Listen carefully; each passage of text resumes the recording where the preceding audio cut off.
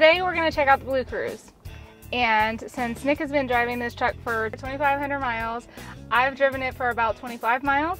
Um, and I've never had any kind of self-driving. My 4Runner doesn't have lane assist or lane keep or even the little um, the little blind spot, spot monitors. So we thought it might be fun to record. I sincerely doubt it, but it might be fun to record me um, using the Blue Cruise for the first time. So here goes nothing. Okay, I need to put on my seatbelt before you start driving. That's not nice.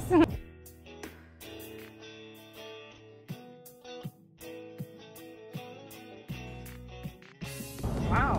What? Well, that's 79. All right, there's your set. So it's set.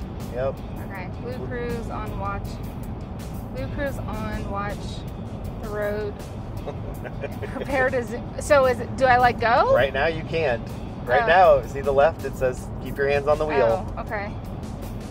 Now you can let go. Now it says hands go? free. Okay. There's a big turn coming, which is even more fun.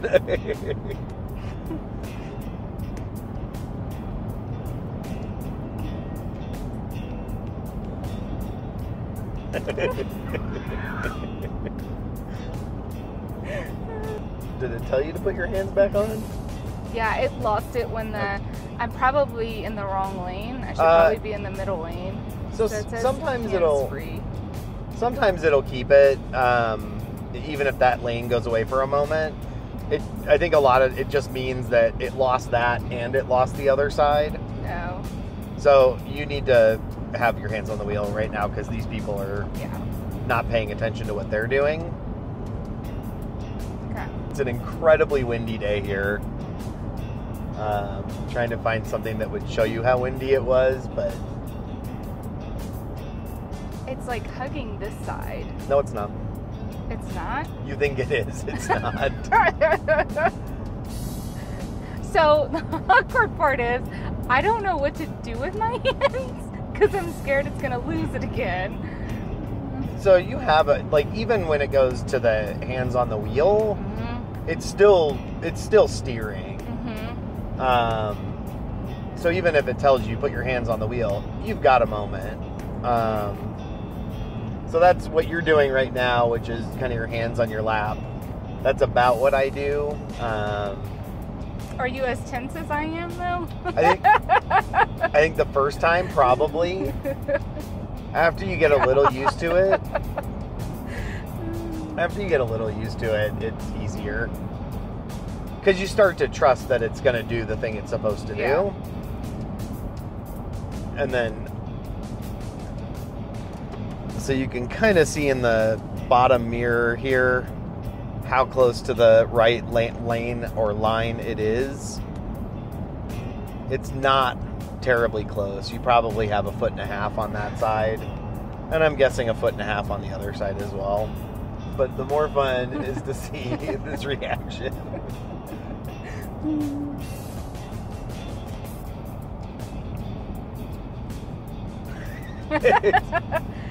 I have to like read the message because I don't know what any of the messages are. If there's a message, put your hands on the wheel. the first thing you do is resume control and then read the message. What are you doing? There. I'm just changing it over to that screen. Oh, okay. So the Blue Cruise is only available on certain highways that are pre-mapped. Um, it uses the forward sensor. So what, what's your speed right now? 785. 75. Yeah. I So- set it at the speed limit. Yep. So what is your actual speed? So your actual speed is 75 as well. Yeah. But we're coming up on a vehicle in front of us, and in a moment, because it's set to three car lengths, it's actually probably going to start slowing down. Yeah, and it- 73. so it started slowing down now. So it uses that forward sensor to keep you away from the car in front of you, and then it uses this the cameras on either side of the mirrors to keep you centered on the in the lane. So if I turn my blinker on, I have to take over to get into the next lane. Correct. Okay. So if you turn we're on a gonna go ahead blinker, it holds your it keeps your distance Hmm. um, but you have to take control until it tells you hands free again.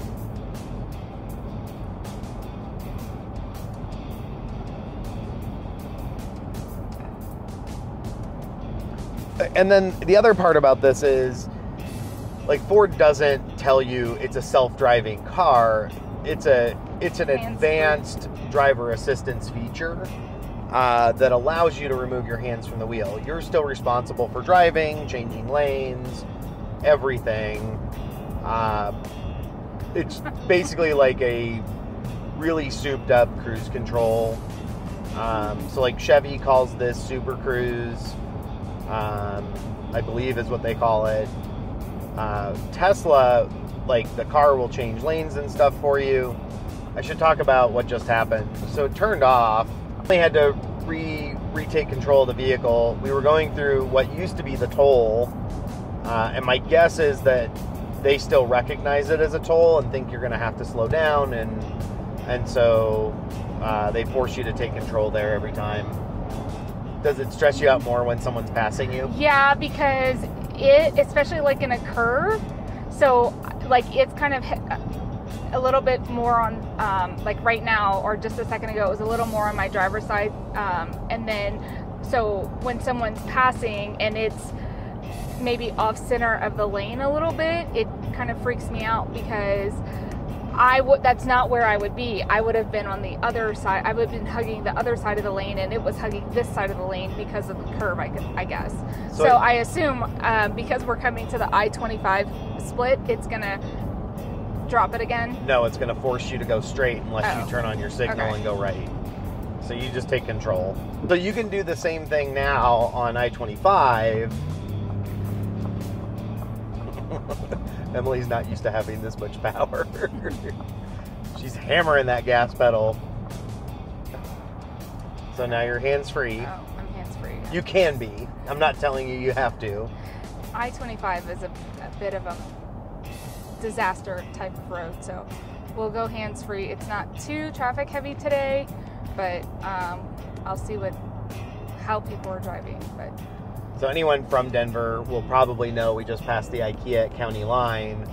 So it'll be clear what area we're in and I'm gonna try to push forward here so you can see the traffic. it's not heavy traffic. I mean, it's con- like congestion, but it's not super heavy traffic like during the week. But I 25 always has accidents and reckless drivers and that kind of stuff. So it's a little, this is more daunting than 470 was. 470 you have a higher speed, but this is, you've got a lot of variables here. In general, I'm more concerned about other people's driving Right. than I am about the vehicle having control. Right. That's more what I'm watching for is how are other people functioning? Yeah, that's what that's more what I was talking about is people weaving in and out, people like these trucks that have stuff in their truck beds, stuff flying out if they're not secured, like all of the the variables of driving this interstate. Have you gotten a little used to it? I am I, a little, yeah. I I keep glancing down because I wish there was like a beep or something whenever it went like, "Hey, take over," because even though I'm watching the road, I'm not necessarily I can't necessarily see down here. I mean, like I can see it change colors and stuff, but it's more of my peripheral. And so it would be nice if it like beeped at you or made some kind of like little noise to say like, "Hey, I I've ditched it. You need to take over control now." Mostly, we're not going to be able to use it the rest of the drive. So we can turn it on, but there's not much you can do the rest of the drive because you're about to cut off on 225 and then it'll go away there. oh, it Um, doesn't work on 225? No, it'll work on 225, but it's not going to make the turn onto the highway for Oh, gotcha. So that was kind of fun. It was kind of neat to see the first reaction to it. I have the first time that it the car let me do it. Uh, I have a little bit of video, but it's it's like a second long. So it won't it'll lose it at this it's gonna point. lose it in just a second. Like very soon here, it's gonna say, "Wait a Yeah. second, there it goes." Yeah, it, it's it's super helpful. It's not gonna do everything for you. That's kind of fun. Oh, terrifying. I don't hear it ding. Yeah, honestly, it didn't ding that last time, and normally it does. maybe it gives you a second before it starts Oh. dinging at you.